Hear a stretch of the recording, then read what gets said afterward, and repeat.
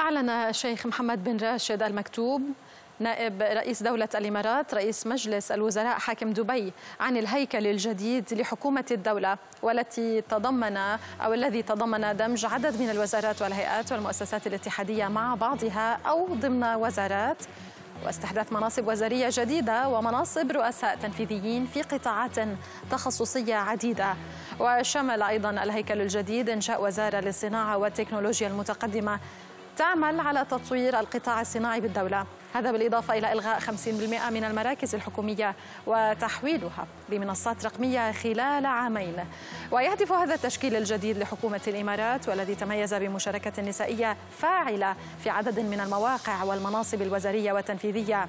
يهدف إلى تسريع عملية اتخاذ القرارات وزيادة مرونة وسرعة الحكومة أو زيادتها لمواكبة المتغيرات.